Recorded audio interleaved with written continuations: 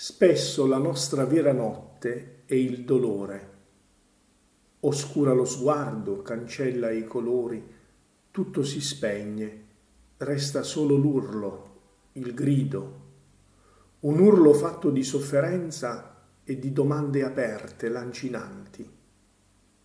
È in questi momenti che raggiungiamo l'essenza profonda della nostra fede, quando siamo chiamati a lodare e a servire Dio non dentro le consolazioni di una vita tutto sommato agiata e nella cornice di una tranquilla e pacifica religione borghese, ma quando siamo gettati nell'arsura del deserto e nella notte oscura dell'angoscia, della paura, del dolore e della non comprensione.